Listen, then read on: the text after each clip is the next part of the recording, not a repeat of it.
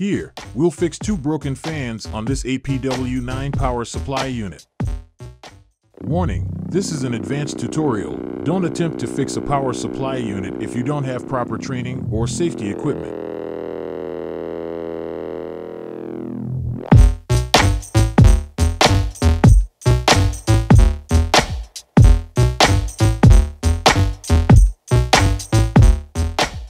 To easily diagnose which fan is broken, you can plug each power cable separately.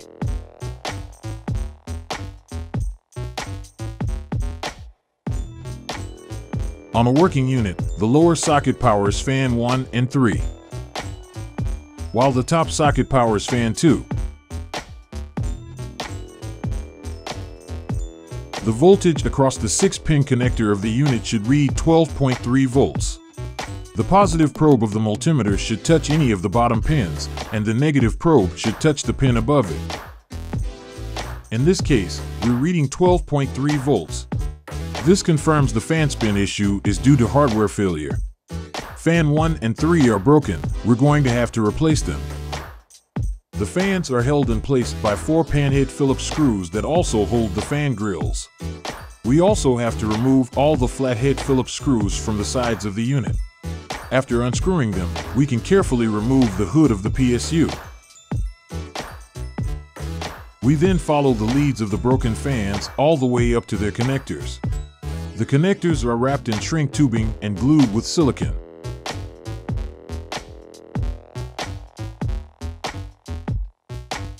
We can cut away some of the silicone to clear up the connectors.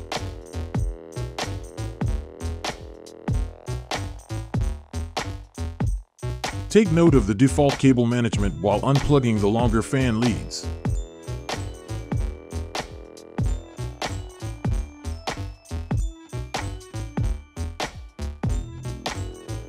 We're going to feed the new fan leads following the same path to plug them into the same connectors.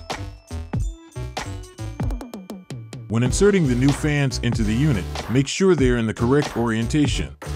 The arrow on the fan should point inside the PSU.